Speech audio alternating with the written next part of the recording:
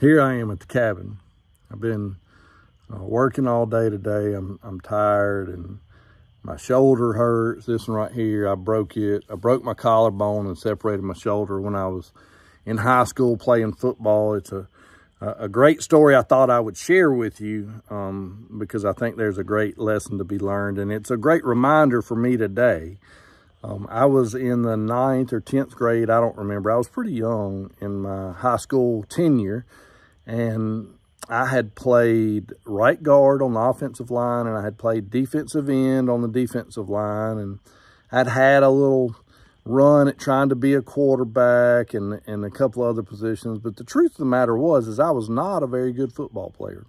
In fact, I often joke that I made a lot of highlight reels for people's recruiting videos for high, for college, but it was always somebody else's recruiting video. In other words, they made a highlight at my expense, right? Because I was just an average athlete. But the last football game I ever played in in my high school career, we were playing Daphne High School. And the game was tied 36 to 36, I think it was. And my, my best friend, uh, Danny Dees, had just caught a two-point conversion to tie the game up.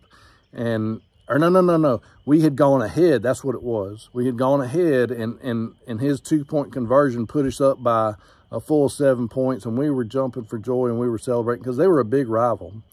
And, and so um, we,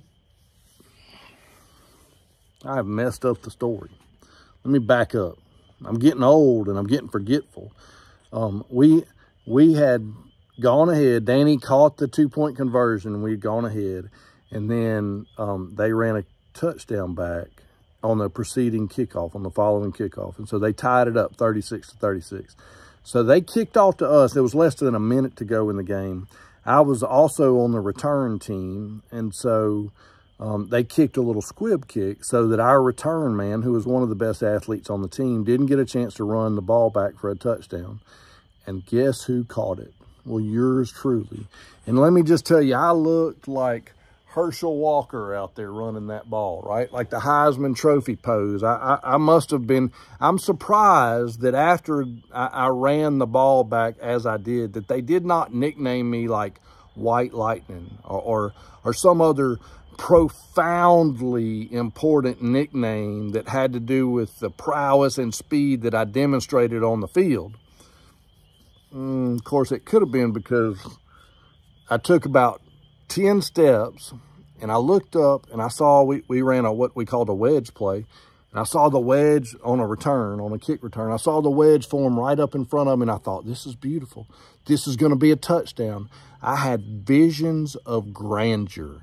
And I thought, I am fixing to be famous. I am fixing to win the game and, and the girls are going to scream my name and there'll be ticker tape parades and all this, you know, the lunacy of a teenage boy, right?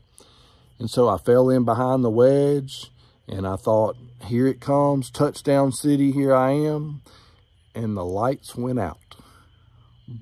And the next thing I remember, I was laying flat on my back, looking straight up at the sky, just like this.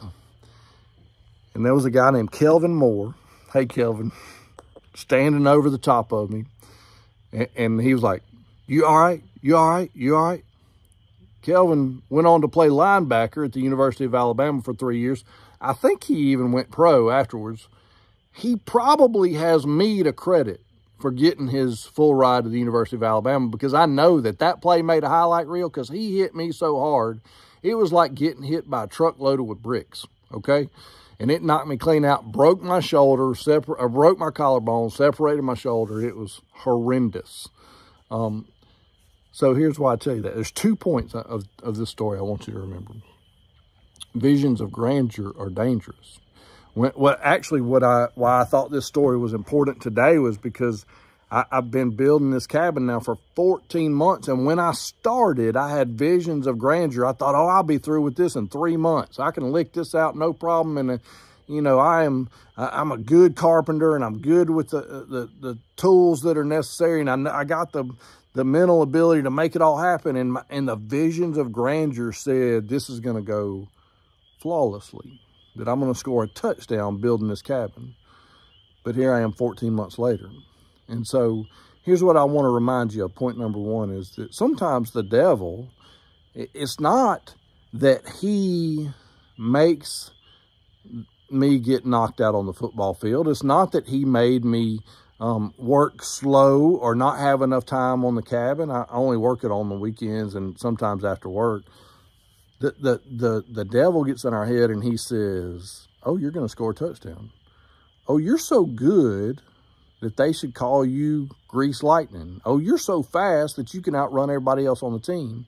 And, and the vision of grandeur is the manipulation. The, the, the vision of grandeur is, oh, you can build this cabin in 90 or 120 days. And then when we don't do it, we feel defeated. We feel let down. We feel um, somehow degraded because we didn't meet the expectation, of the vision of grandeur, but that was the lie to begin with.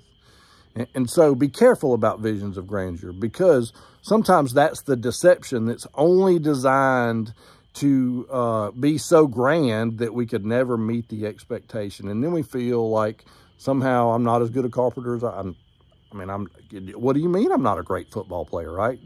The reality is I was an average football player at best. I don't even know if I was average. The reality is I'm not a very good carpenter, right? And so don't let not meeting a grandiose vision be something that discourages you. Just recognize that your expectations were unreasonable to begin with, and that's okay. That's okay. The other thing I wanted to tell you was this, is that usually out of hardship comes something good. Because that's just kind of how God works, right? Noah spent all that time building the ark. You can't tell me that wasn't hardship. And out of that came something good, right? Moses spent all that time leading the Israelites around in the desert. And out of that came something good for the Israelites, right? Um, Jesus spent all that hard time carrying the cross. And out of that came something good. So um, Kelvin Moore and I became good friends. He, he took pity on me, I suppose, because he had about killed this poor little average kid. And, and, and he, let me tell you something, he was a man in high school. He was a stud and he was a great athlete. And I'm so proud of the career that he had at Alabama and, and, and from there too. But we became friends after that, all because he, he waylaid me. He, look there, he didn't do anything wrong. He hit me like a man. I just wasn't strong enough to take it. My body wasn't designed for that. And, but out of that, out of that hardship, he called me, checked on me. He, a couple of days later, I get a call. That was when we still had the rotary dial phones. Hello, hey, this is Kelvin Moore. I just want to check on you. Um, that meant something to me, right? Um, we would see each other from time to time after that, not only in high school, but also in college. And we'd always reminisce and we'd, you know, uh, just kind of uh, walk through uh, some of those moments together. And it, and it was one of those things where, but for that hardship, we would have never had that friendship. And so sometimes some of the best friendships come from the hardest places. And so I, I don't know right now where you're struggling at or who you're struggling with or what relationships you're struggling with, but I, I just want you to consider maybe is there um, something there that you need to dig a little deeper for because sometimes hardships lead to the best friendships. Okay. Hey, look, um, I, I, I'm, I'm tired. This, this hardship, this cabin and mosquitoes are out. My shoulder hurts. Like I'm just, it's wearing me out. So Hannah's texted me and said, where you at? So I'm going home. I'm gonna go get me a shower. I'm gonna eat some good supper and, and I'm gonna probably take me two Advil and I'm gonna sleep really good tonight. So I hope y'all do too. Take care. Y'all have a great day.